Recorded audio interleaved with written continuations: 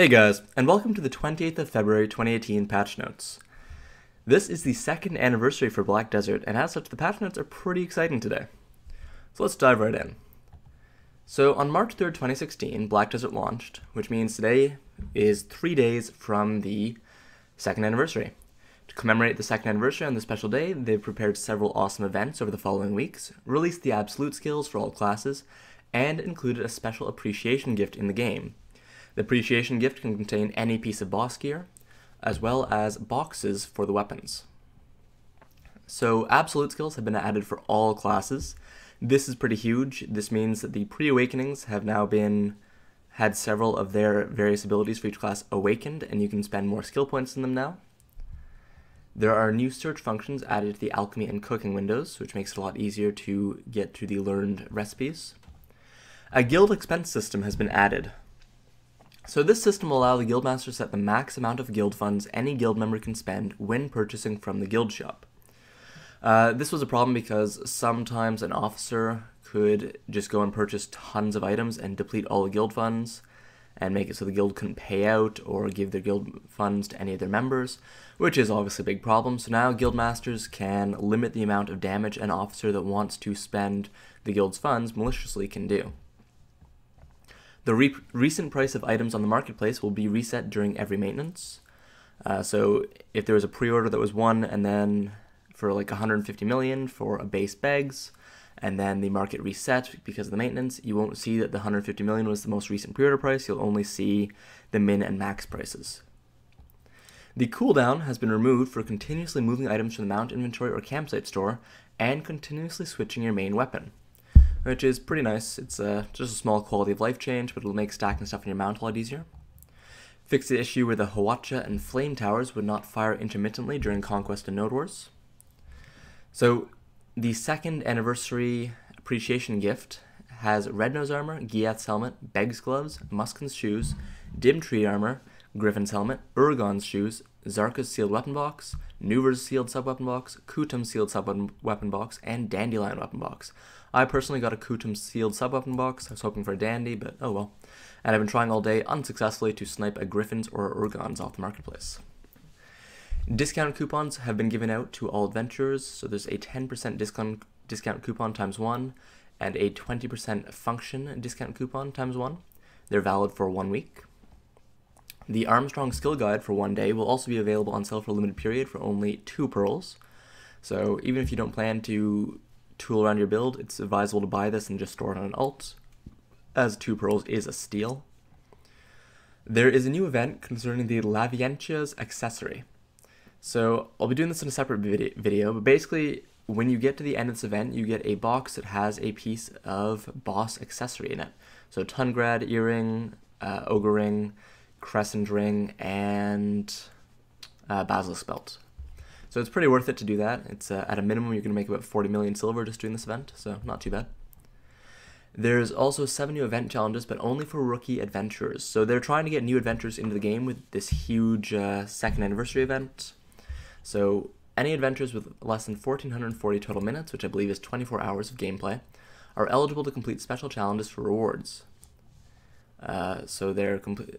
These there's seven days of rewards. Uh, they're pretty nice. Settlement packs, horse emblems, so you get a tier 5 horse, uh, inventory and expansion coupons, uh, horse flute, blackstones, advice of Valks, and another settlement pack. So pretty nice.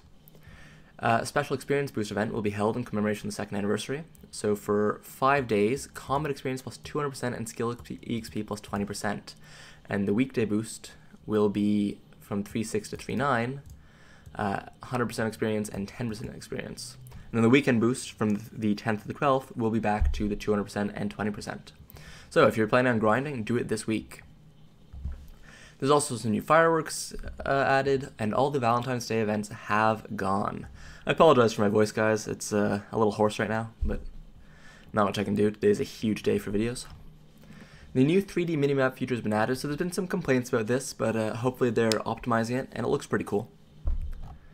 There's a few graphical fixes and glitches.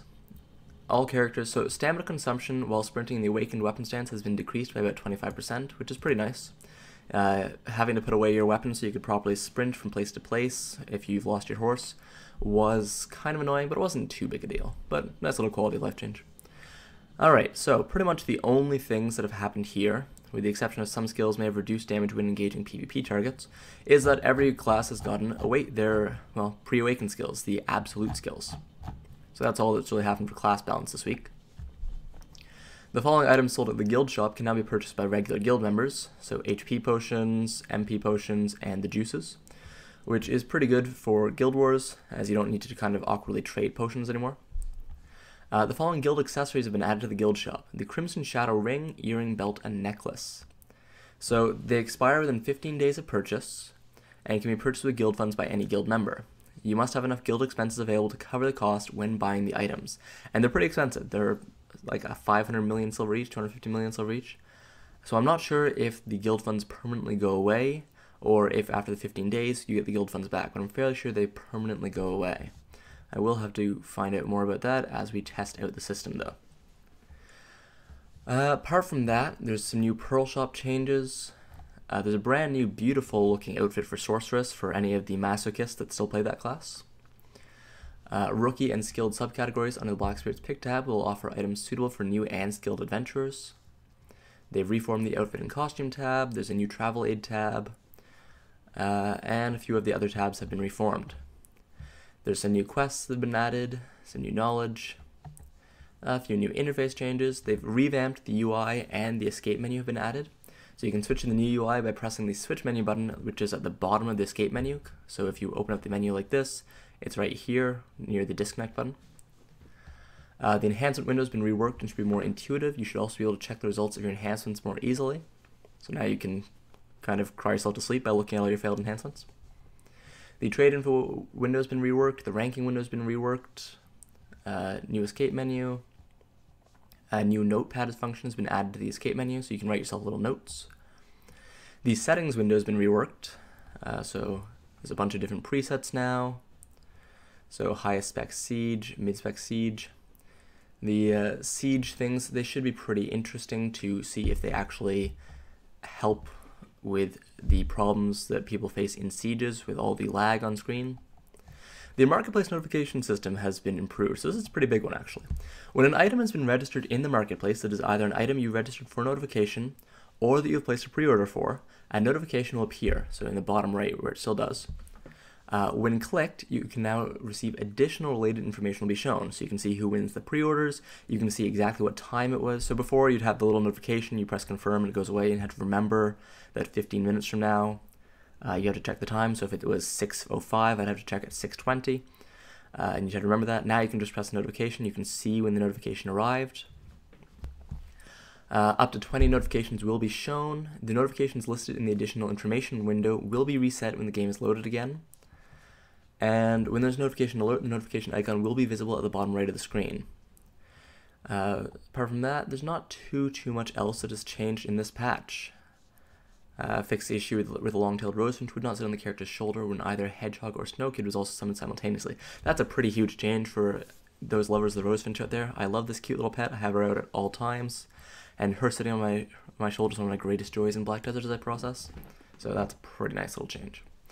So, these patch notes, pretty huge. The biggest things for sure are the Absolute Skills release. That is something we've been waiting for for a long time. The change to the guild expense system and the marketplace are pretty nice. The brand new event starting is good. And the second anniversary, so if you haven't logged into Black Desert recently, log in today. You want to get this uh, second anniversary uh, event item because it's a free piece of boss gear. You're minimum making 95 million silver if not more if you get something that's rare, such as Urugon's shoes or a dandelion box, and it's absolutely amazing to have.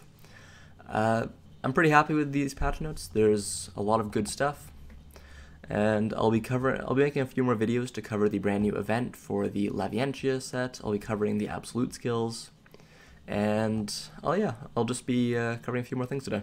Anyways, hope you guys enjoyed the video. That was the patch notes for the 28th of February 2018 patch. Subscribe if you like it, and have a good one.